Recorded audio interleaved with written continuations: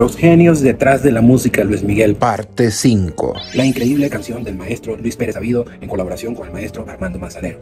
Pero antes de adentrarnos en esta historia hay que entrar en contexto. Primero, un artista como Luis Miguel, sus producciones pueden grabar unas 20, 25 canciones y luego de un filtro de producción quedan aproximadamente 10, 11, 12 o 13 canciones, las cuales debemos dividir en tres grupos. Primero, las canciones que tienen un alto perfil de ser un hit. Segundo, las canciones que pueden ser muy buenas. Y tercero, las canciones que pueden servir simplemente de relleno. En este tercer grupo, generalmente las canciones de relleno siempre son las que se colocan al final del álbum. Si vamos al segundo romance, la última canción es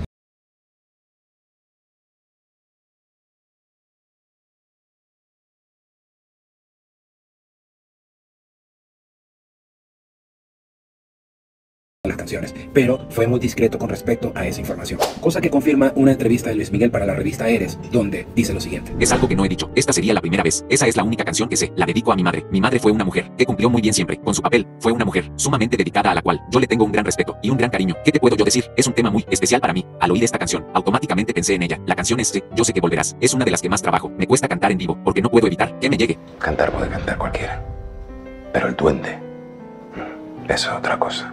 Muchos artistas en el mundo practican algo que se llama memoria emotiva, que es simplemente asociar con algo personal o algo emotivo para poder llegar a lo más profundo del corazón de las personas ejerciendo su arte. Luego que la fanaticada del artista se entera de lo que está detrás de esa canción, pasa de ser una canción de relleno a ser una de las canciones más importantes, no solamente de segundo romance, sino de toda la discografía del artista.